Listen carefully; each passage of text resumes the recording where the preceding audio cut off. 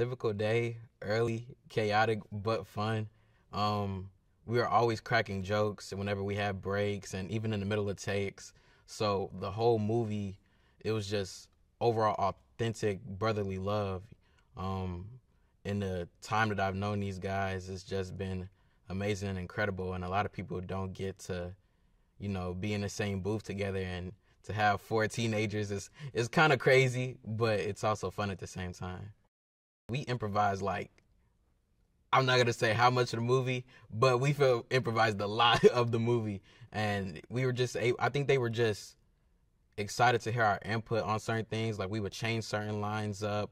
Um, we gave them ideas of modern day things. I can't say too much, but it's definitely a lot of modern day uh, Easter eggs hidden in the movie, and that came from us and a mixture of them as well.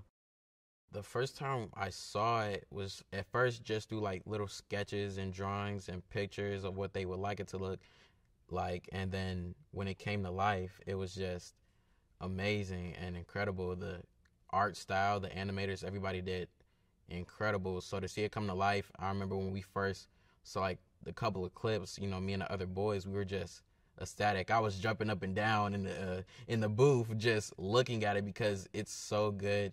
The visuals is crisp, is is good. The colors, the lighting, the everything is just so good and amazing. Like it looks like it came straight out of a comic book and artistic, like with a painting at the same time. It's like a Michelangelo, every Leonardo Raphael, Donatello painting mixed with like the best superhero movie you could ever think of.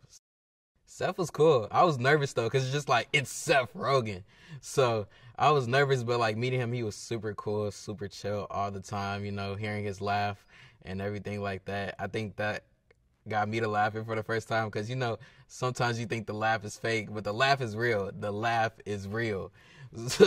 so, but he was just an amazing.